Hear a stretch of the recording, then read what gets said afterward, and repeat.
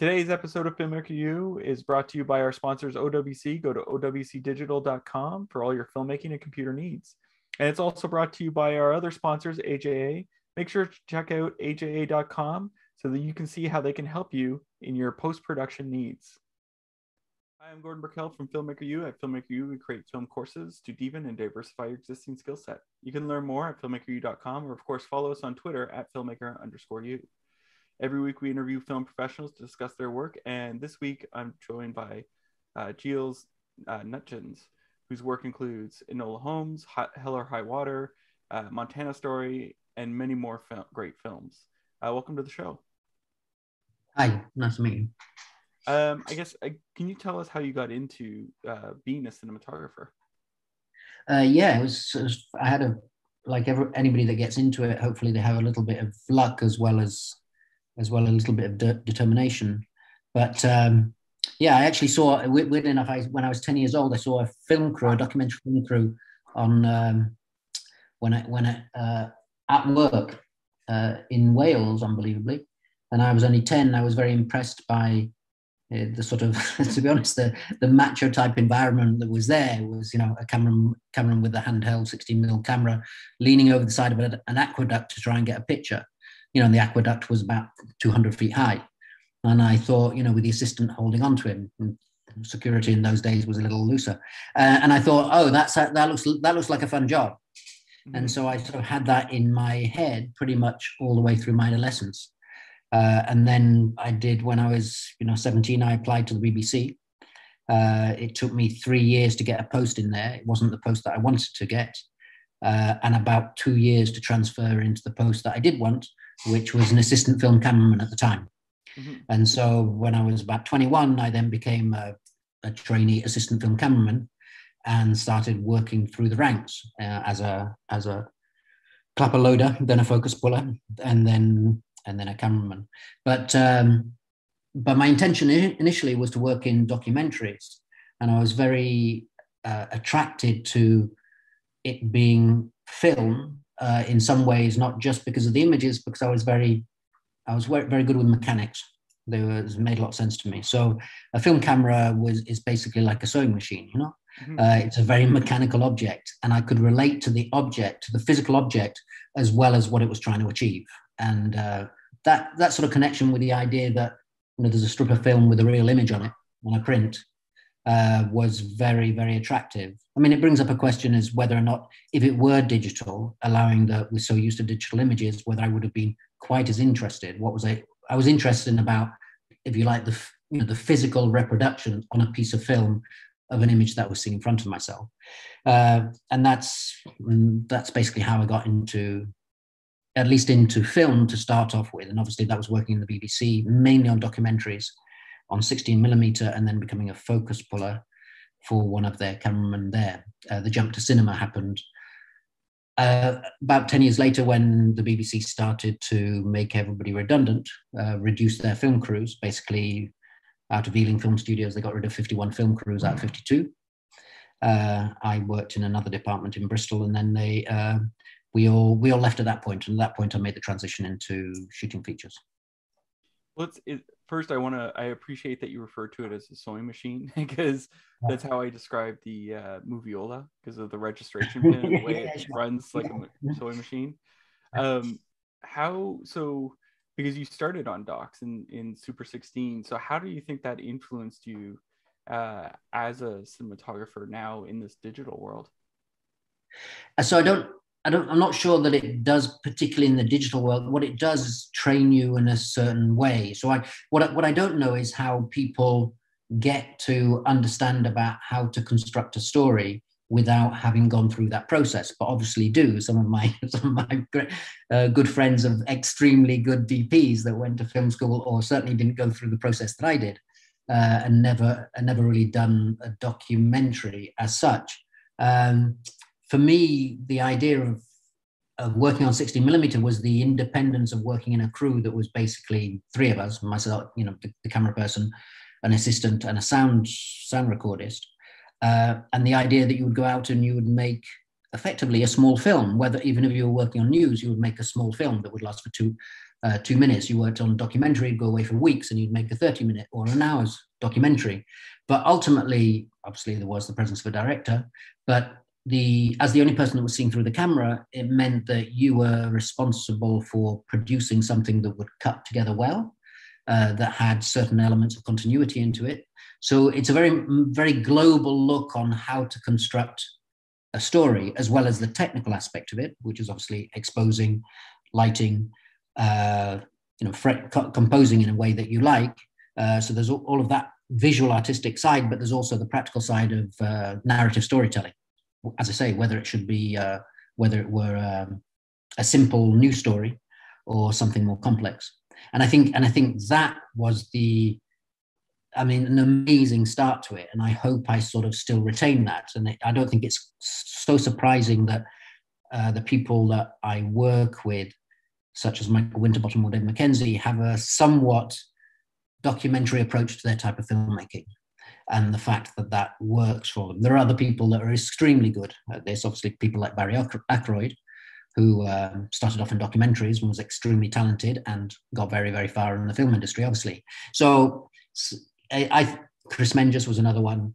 There, there, was there's a lot of people that came up through that line, and I probably didn't have quite their expertise that they had before I flipped into cinema, into fictional narrative.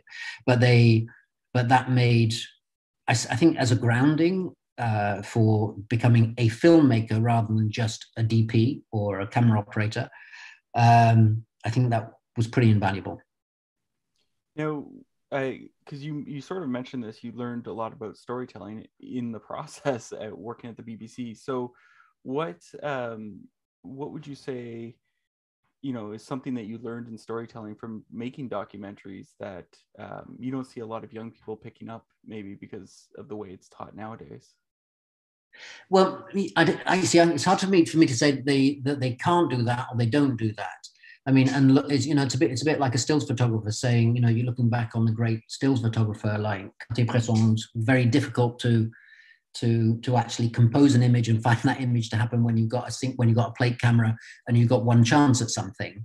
Or you know compared to somebody that's going to press a button and take 50 images and you're going to find exactly the right moment out of that. You know I, I, there's not one that's the correct way of doing it. Obviously the possibility of getting that great moment is much greater if you're if you if you're running through a lot of images on the camera. And i don't think yes some people in the past had had an amazing capacity to capture images that were almost impossible to capture because they just had a sense about being in the right place at the right time or having the right composition at the right time. Um, so the idea that the young film, young DPs or young filmmakers don't have that capacity, I think would be is a little bit hard on them because I suspect they also have a um, they have a, a, critical education which is much stronger. I went straight into the business, you know, I never never did any form of studies, whereas hopefully they've gone through that critical process of un- analyzing other films, analyzing narrative, as well as analyzing the structure, you know, the, the mise en scène, the images, how they look, how they feel, um, because obviously that is an important part of our job. Sometimes directors say to me, "I don't know, you, you know, you're very, very aware of the importance of narrative uh, in terms of the way I actually work. I'm always asking about the narrative, the narrative crux of each scene, and I'm trying to get there with images." But I, I can't imagine there are that many DPs that are working at a reasonably high level, or at least in cinema, who don't have that capacity now, because I just think it's such a fundamental part of, of what I do as a DP. And actually, in a way, that's what differs a DP from a technician who just literally follows what's what's happening in front of them, you know. So so I, I hope that young filmmakers do have that formation uh, and even if they do have a lot more material to work for, work with, than we probably had when we had you know 10 minute magazines on a 16 mil camera and therefore had to think about every time we turned on the camera um, hopefully they got a lot more you know the ratio you know, the shooting ratios are much much higher. But hopefully that will when they come down and actually put that and see that edited they'll understand which parts were important in terms of uh, in terms of telling the story that they're supposed to be telling um, I do. Th- I think personally, uh, I have a relationship with certain directors because I'm not sure that I have any more capacity than anybody else to understand you know the narrative importance of what we do with an image but but on the other hand at least i understand that it is an extremely you know ultimately a film won't work if the narrative doesn't work narrative doesn't make sense the film's not going to work it doesn't matter how good it looks that uh, that's not actually going to going to help people enjoy the thing they're watching or be or be informed by whatever they're watching so so i do think in that sense in that sense um, my balance between the importance of the image and the importance of telling the story that's actually going to keep an audience interested uh, is relatively good in my case. And, and, and, and to put on top of that, I'm sure there are some DPs that are just 100% concentrated on the images and probably are some of the better DPs on the planet because, because that's where their concentration is as an absolute in terms of being totally uncompromising. For example, a very simple thing is like, you know, there are, I can see the difference between when Bob Richardson goes out and shoots because of the time of day that he shoots a scene. I can I can see the difference in that compared to what happens when I'm shooting with Michael Winterbottom, for example, where we shoot a massive amount of material in a very short amount of time, and Michael has his own reasons for shooting with the light in a certain time of day uh, normally which are to do with schedule. So obviously, I'm never going to be achieve, able to achieve that quality of light or that control of light that maybe you can achieve on a on a bigger film where that seems to be more important. Whether that helps the narrative or not is the big question. So, how do you get on the same page with the director then? Because you you've you've worked with some directors many times. So, uh, what is what is your secret, I guess, or how do you make sure you understand what they want? Uh, I, I mean, I think I think originally, like all young DPs, I was probably as difficult as anybody else to work with because we're all a little stressed, because we're all sort of fighting our own technical weaknesses. Uh, you know, we we all have to learn. You know, I mean, everybody learns. I I still think that you know, I've got to I've been doing it for thirty years, and I now sort of feel that uh, I could take on pretty much anything. I actually thought I could take on pretty much anything when I was 35. I just didn't realize I couldn't.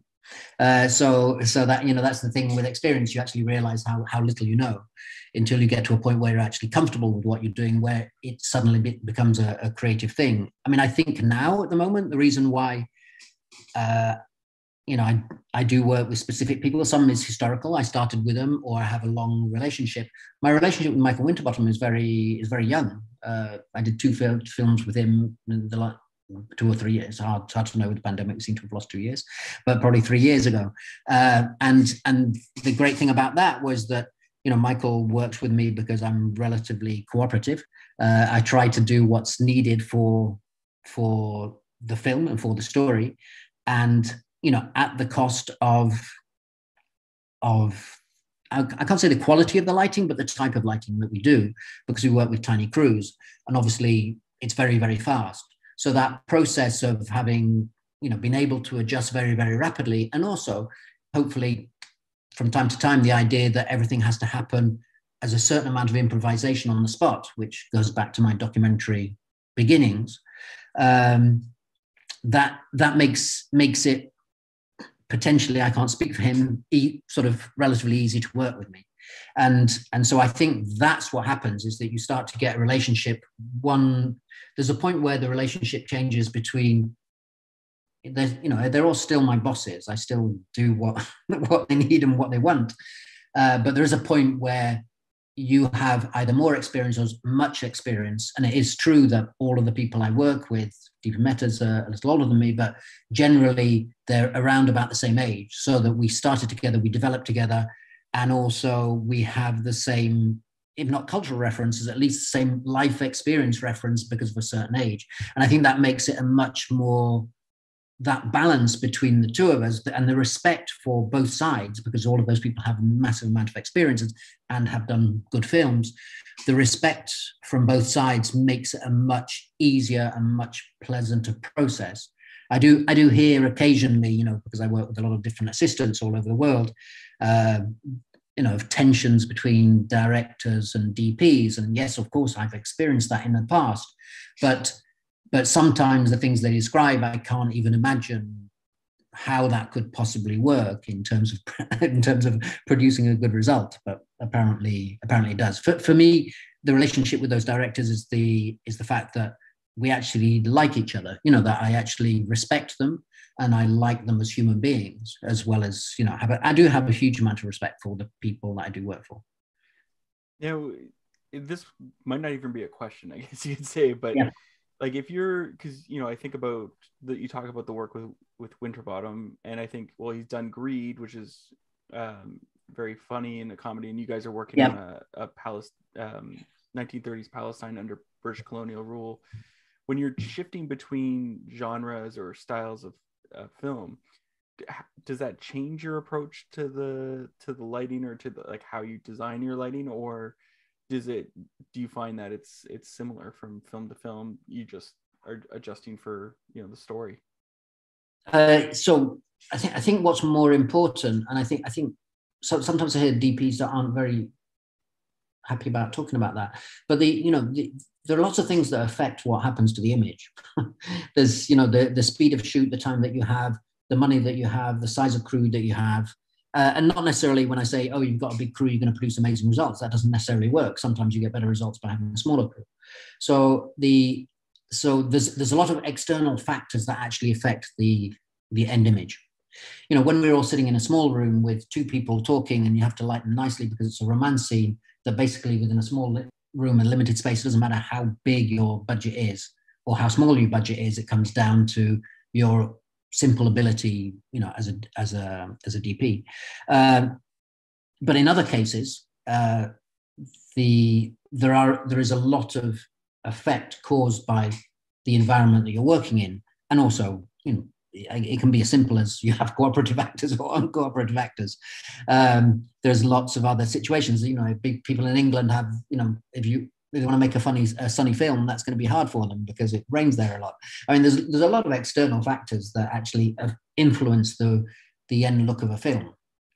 Uh, I, I personally think the biggest factor is the the desire of the director for a film to look in a certain way, or the desire of a director for let's just keep moving and uh, let's get it in the can. And really, the approach becomes the most defining thing. So, for example, with Michael, Michael's approach, Michael isn't exactly dogma because we do have a small amount of lighting, but we work with, um, you know, between one and three electrician stroke grips. So, you know, it's a tiny crew. So the limitation of what we can do, I don't often I think I've only worked done one day with Michael's when we when Michael when we had an HMI. So the type of lighting that you're doing is adjusted by the type of the, the speed that Michael works at. Um, so so that's one thing. With David Mackenzie, it's a very different thing because we David David and I, even though we don't do a massive amount of preparation in terms of location scouting and things like that, but we what we do do is, is David and I always spend generally a week together. Uh, and either he comes over to Spain and spends some time with me, or when I was living in France, he came to, to do that. And we and we literally spend a week going through every single every single scene, but talking about what the scene means. So it's not really about talking about what the what the scene will look like. It's about what the scene feels like. And and so through that process, and we at the end of it we make notes and we sort of come up with a basic you know shot breakdown which as usual tends to get thrown away when you shoot. But but the but the process between us has already happened in the sense that by the end of that week we sort of know where we're aiming.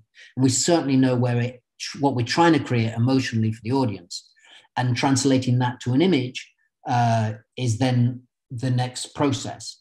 Uh, and i think david would be although he doesn't interfere at all with my lighting when i'm lighting uh, if he had a specific request, he would come to me uh, about that, and we would develop that together. Uh, likewise, he's very he's very good with me in terms of giving me free reign about framing.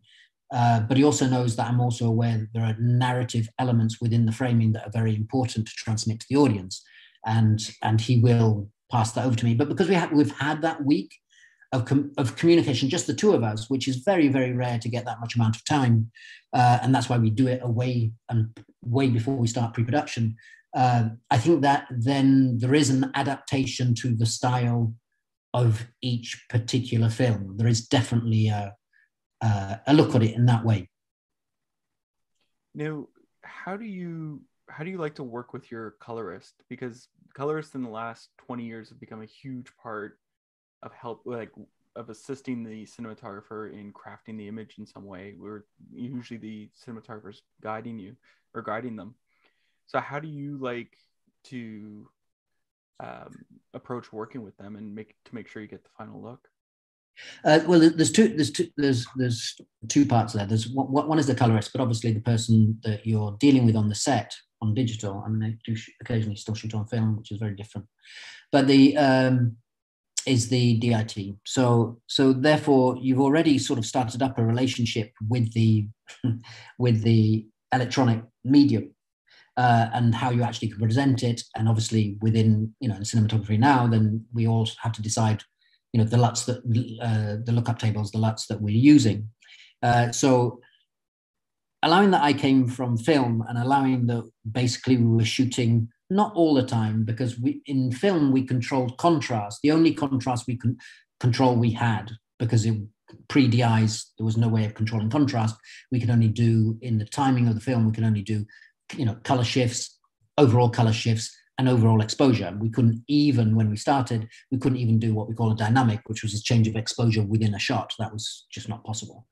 Uh, so we all got used to exposing the negative at a certain point you know, which would be called a midlight, um, in order to in order to control the contrast or the latitude of the image. So it was controlled through lighting and obviously through uh, negative exposure. So, for example, with the negative exposure, we overexposed it. Uh, it would then work at higher printer lights, which would then give it more contrast. Um, generally, uh, so so we you know obviously with a DI we have a you know it's, a, it's an amazing tool uh, so, but what that sets you up to do when you're shooting normally to get the full range of latitude of the film negative, you would make sure that your exposure was right down the middle. You know, and Kodak would have a, each laboratory would have a set of lights which would indicate that, which everybody used to call 30 across, but they were different, different num- uh, numbered lights, which you would then know that you were bang in the middle of the exposure range, except uh, approved by Kodak.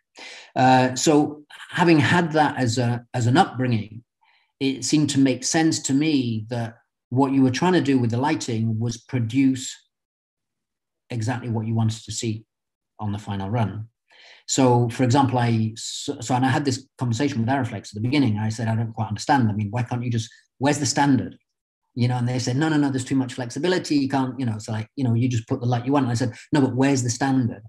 And of course, then they produced, which they've been modifying, they, which is what I now use, an ARRI Classic Standard LUT. I think they call it the ARRI Classic, uh, which is which doesn't really affect the contrast of. I mean, it puts it back into a normal space, the sort of space. It's hard to say that the hard, like the space that you would see with your eye, but more or less in terms of that latitude. It enhances a maximum latitude without making it look flat. So it doesn't, it has a normal contrast in it. So allowing that I do that and I like to that, it means that the job for the DIT and the job for the colorist later on is not dealing with the application of a whole load of different LUTs that might have been attached to certain certain sequences. Uh, but sort of trying trying to work down that mid line so that when I get there, it's as close, the image is as close to what I wanted to see, but all done through lighting rather than done through manipulation or contrast manipulation or color manipulation, either with either with the DIT or in, or in the color suite, you know, in the DI suite by a LUT.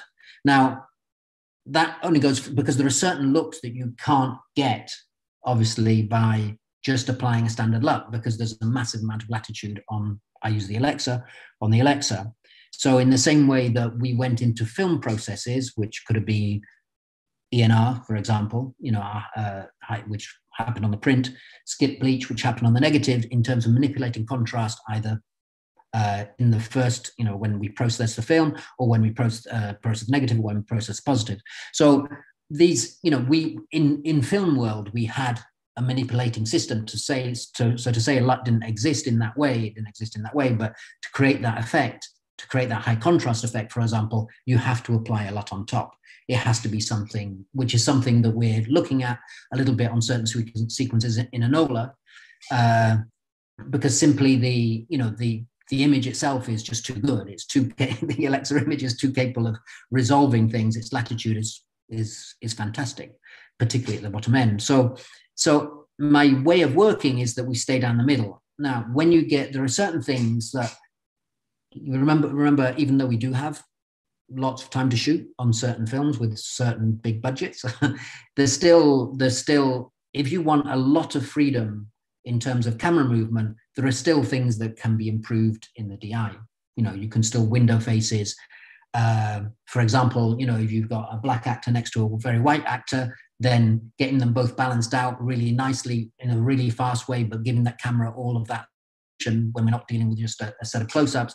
Generally you're going to have to place the exposure in the middle. So you're going to have to do a little bit you know of bringing down the white person and you know making sure you've got the detail on the black person afterwards. So the, those things are quite you know there, there is a process that happens uh, in the di that's absolutely necessary.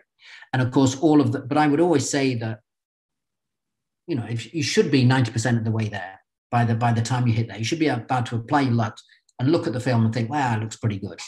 You know, there'll be a certain amount of balancing up, particularly if you're using multiple cameras, but it, you know, you should be able to get very, very close. I've done a, what I did a TV pilot where they didn't even time the TV pilot. And I was, I was absolutely shocked. There was no timing period for it. They just put out the dailies. And uh, unfortunately, it was one of my best bits of work with David Mackenzie. So it, it, felt okay. I was very happy about it that it went. out. I was very proud that they didn't need to do anything else. But that other 10% does make a difference. And I and I think that that's another interesting thing. I think that 10% are tiny touches that maybe I would notice or another DP would notice, but there are things that really can enhance the narrative. So bringing bringing bringing up one element, you know, whether it, whether or not it be you know, the uh, the murder weapon or something like that, bringing that up and making that brighter and making it more intense, uh, can obviously help the narrative. There are certain elements within a frame that are impossible to light, you know, unless you spent hours and hours and hours on each individual shot uh, at the time, which can be really helped in the DI. You know, the other thing is pulling people out and knocking the background back is really quite important. So my relationship, although I've up till now I've uh, I've been changing changing uh, colorists all the time because it tends to be uh, there's only one colorist in Los Angeles that I've worked with twice. But on, for, for example, Enola Holmes 2, because we'd sort of set up the way it felt, even though this the, the new one is more dramatic than Enola Holmes 1, we, you know, Rob Pizzey, who's the colorist, has a good idea of what both I like and what the director likes. And I think that will be a very, very useful thing because he's also got that in a, his head. And also he's a man that can understand, you know, where the narrative point of a scene is and therefore can just drive us with the image. But I don't expect, except for there are one or two sequences where we've joint jointly we've decided that they need to be pushed into a more contrasty space, which normally I resist a bit, but I think it's appropriate for the narrative in this particular case. Then most of the things is just it's just a case of refining. It's a case of refining. You know, somebody has a little bit too much green or a little too much magenta in their face. You know, slight tweaks so that it becomes out exactly where you want. But basically, uh, it, it is that for, for me and the colorist um, to, to try and keep it as close as to what we've done originally. I, I really appreciate that uh, you talk positively of the ARRI uh, cameras because I remember learning on an ARRI BL yeah. back in the day. Um, so to hear that they're still going strong is good. No, so I, I, mean, I think I think I think all of us have got used to. You know, I, I used to work with between because when I did a lot of anamorphic when I was in and I always shot Panavision anamorphic just simply because their lenses were very good. Um, and so we'd got we'd got used to that, and we all loved Panavision flares and things like that. And it was the big going to America, shooting over there and shooting shooting Panavision meant that you sort of made it.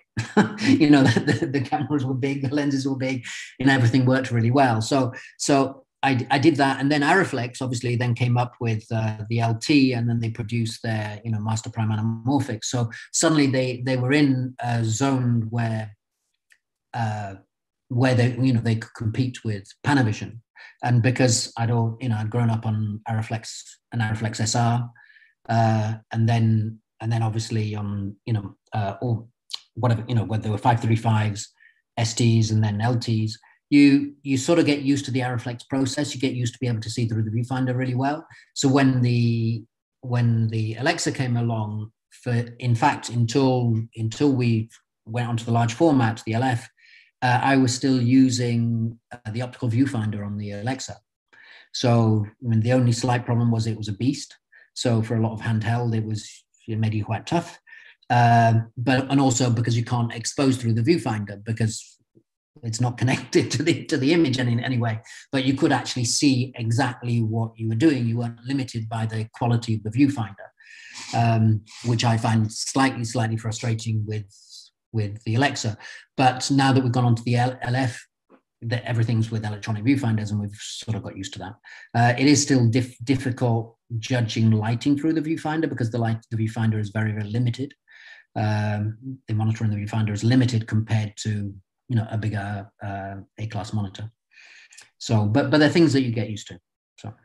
Now I have one last question for you. You know, we've been stuck in this pandemic for two years now, and a yeah. lot of people have turned to streaming services during that time for entertainment if they get stuck indoors is there a show or a movie you've discovered over the last two years that you think people should check out if they're stuck indoors? No, I think there's lots of there's lots of movies that people should be checking out. But you know, the separation between you know the, the one thing I did because I never watched TV series before. I mean, I, I was never a big avid TV watcher, but mainly because I was working in cinema. My, if you like, my peers were working in cinema, so therefore my if the competition, the people that I had to have a reference to, were producing movies, so I would see them, see them in in the cinema. I always thought I've, I've always had, you know, I shot for the big screen.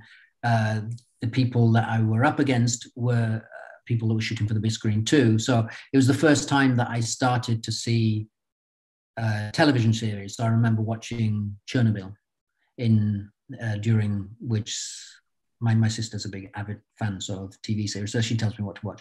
But but you know, and that was despite the fact that it was depressing as hell. Um, it you know it was you realise the quality of the image that people were doing. You know, the quality of the filmmaking was was amazing, uh, and that and that did actually take me by surprise about how good uh, television series were because television series for me were a bit like a TV movie, which tended to be overlit 35 mil. So to see the quality, and loads of people have talked about break, Breaking Bad, mm-hmm. uh, I, I actually got into Spanish TV series that all fantastic for the first um, for the first series, and then they sort of turn into what we call a telenovela for the second one, which is a soap.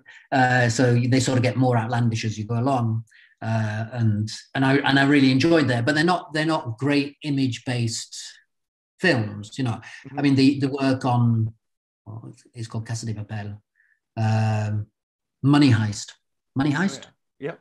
Yeah, yeah, Money Heist. Uh, so, so you know, there's great work on there. I mean, fantastic work on there. So, so there are, there are films generally in a lot of the TV series. You know, the quality of cinematography. But I think that generally, I think the quality of cinematography at the moment is extremely high. Uh, so certainly for TV series with you know a streaming TV series with a certain amount of budget behind them, as well as cinema, uh, people are producing excellent work. It doesn't you don't you just have to go back to uh, films that we thought were amazing films and probably sometimes nominated for Oscars for photography, and you go back and you look at and often overlit 35 mil and or very traditional in terms of I don't want to name many films because that sounds like I'm bad mouthing people, but a lot of the big adventure films, which were major motion pictures, you know, with a massive budget, you you look at the lighting and you think, how did they do that? Why did they do that? You know, and these were the people that I respected, obviously growing up, because they were the people that you looked up towards. It's just that cinematography since people, and also you know with cameras of the quality of the Alexa, where it has the ability to record detail as well as being sharp, but record you know information at a low level, has just liberated people to be much, much, much more creative, because they're not tied down by the like it or not. And I think I was relatively brave, uh, even as a young DP when I did Young Adam. I mean, I remember taking a night shoot to a point where there's almost nothing there sort of regretting it, but but you know with a lot of confidence. But nowadays, the fact that you can you've got a much bigger indication, which is not just a monitor but a waveform to know how much information is there, and of course you can pull out detail and clean it up later, which we could never do, um, means that people are a lot braver. they're a lot braver. They're night, basically night scenes, for example.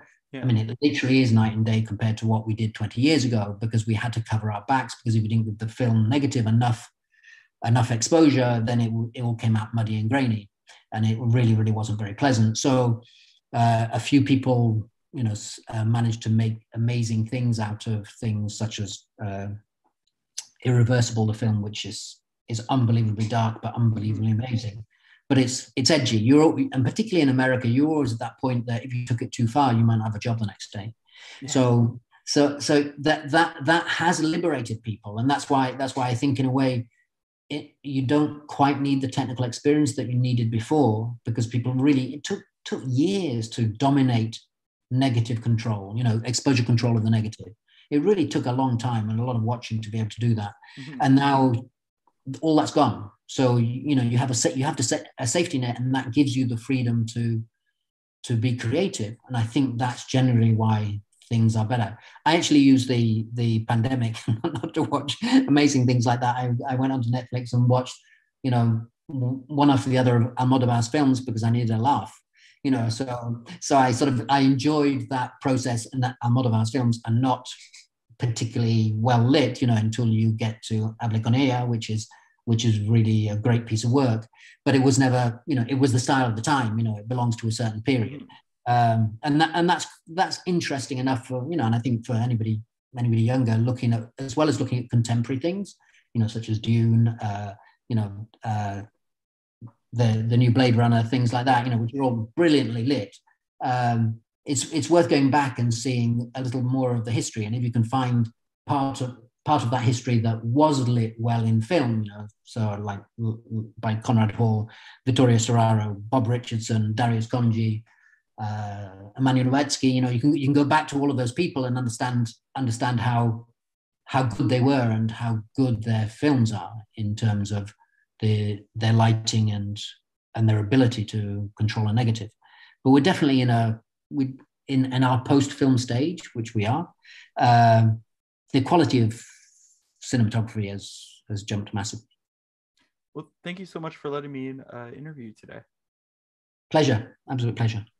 Uh, and that's it for this week. Make sure to check us out at filmmakeru.com for all our latest courses. And of course, follow us on uh, Twitter at filmmaker underscore you. I'm Gordon Burkell. Thanks for watching. Today's episode of Filmmaker U is brought to you by our sponsors OWC. Go to owcdigital.com for all your filmmaking and computer needs. And it's also brought to you by our other sponsors, AJA. Make sure to check out aja.com so that you can see how they can help you in your post production needs.